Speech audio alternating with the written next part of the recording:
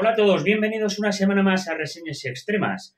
Hoy os traigo la crónica del concierto de MT junto con Azagal en la sala Silicona el pasado 8 de diciembre. Así que no me entretengo más. Vamos a ello.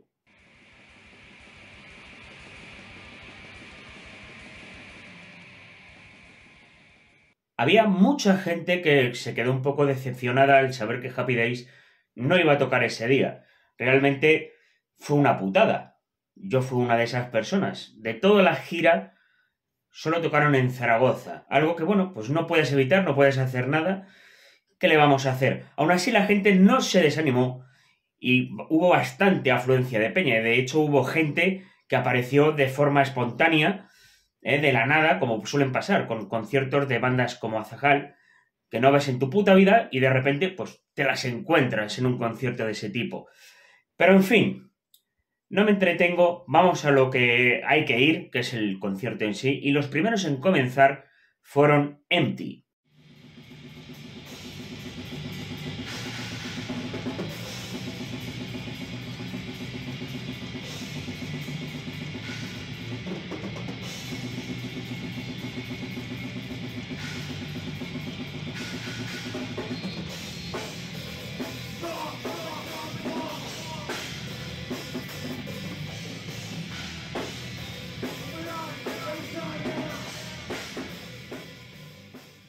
Empty es a día de hoy una de las más grandes entidades del black metal patrio que tenemos y con este último disco pues se reafirman un disco de black metal frío, distante, oscuro, cargante.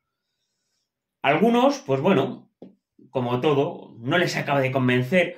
A otros que si nos gusta más ese rollo, pues agradecemos trabajos de este rollo.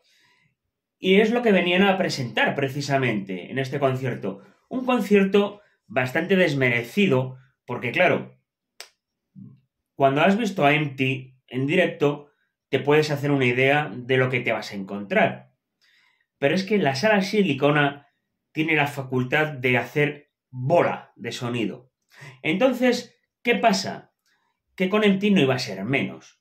Por desgracia, las voces se perdían siendo las más agónicas y las más chirriantes, las más audibles, pero las más profundas se quedaban un poco perdidas en toda esa amalgama de ruido.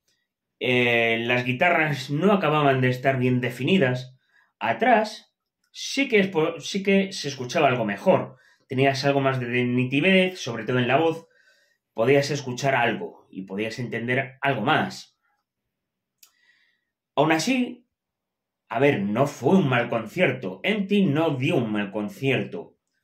Lo único que esas dificultades hacen que no se pueda disfrutar todo lo que quieres disfrutar un concierto de ese estilo. Las luces, bueno, siempre les ponen luz azul, no sé por qué. Eh, les han cogido ese punto eh, y no había mucha más variedad de luces durante todo el concierto. En fin, fueron algunas, eh, algunas causas que hicieron que, bueno, el concierto en sí no estuviese mal, pero que hubo mucha gente, pues que se quedó esperando quizás algo más por parte de ellos, cosa que no deberían, porque al fin y al cabo ellos no son eh, los que hacen que la sala, pues, les juegue esa mala pasada. En fin, durante la hora que estuvieron tocando, sí que había momentos en que podía ser un poco más monótono debido a esto. Aún así, salieron adelante, el concierto pues fluyó como tuvo que fluir. Y oye, a todo pasado, sí que puedo decir que no fue un mal concierto. Aún así, algo curioso, y ahora os explicaré por qué. Los siguientes en aparecer, evidentemente, fueron el plato fuerte, Azahal.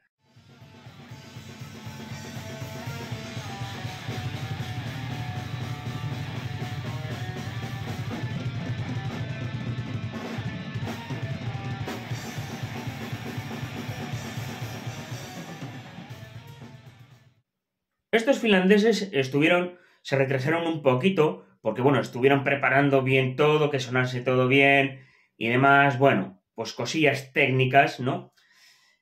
Pero algo curioso pasó cuando empezó Azahal. Y es que de repente se oía bien. Se oía perfectamente. Bueno, a ver, se oía decentemente, ¿vale? Se oía bien. El bombo estaba un poco por las nubes, ojo, hay que decirlo, que sí que es verdad porque luego en los blast beats decías, madre mía, esto es una puta pisonadora, y lo disfrutabas, pero estaban altos. Y la voz quizás también un poco también, porque claro, si tienes los bombos altos, pues si quieres que la voz se oiga, tienes que subirla. No obstante, joder, el sonido era bastante más decente que Empty. Cosa que no me entra mucho en la cabeza, pues si está el mismo técnico. Y otra cosa más curiosa también es que había más luces aparte de la luz azul. Empezaron a aparecer luces por todas partes. Claro, tienes un concierto que se escucha decentemente y que incluso atrás, pues así que se escuchaba bastante bien y se escuchaba bastante mejor, pues la gente se animaba más. La gente se volvió completamente loca. ¿eh? La gente lo dio todo haciendo mos, eh, manteando a un, a un chaval eh, coreando, por supuesto, el Black, Black Terror Metal, un tema que evidentemente, pues claro, tienes un estribillo pegadizo, pues la gente te lo corea.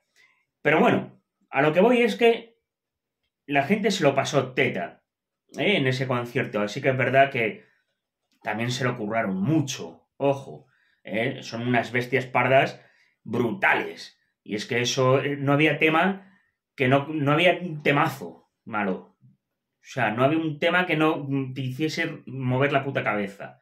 Pero claro, te da que pensar, dices, joder, ¿y aquí cómo es posible que todo esto suene de puta madre, eh, que se oiga, que esté escuchando todo bien?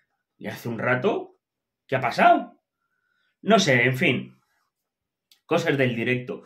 Pero a Zahal dieron una buena lección de lo que es el black metal finlandés eh, yo creo que es la mejor escena de black metal a día de hoy, desde hace mucho tiempo además.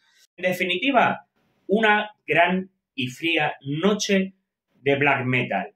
Si os ha gustado el vídeo, dejadme un me gusta, siempre va bien.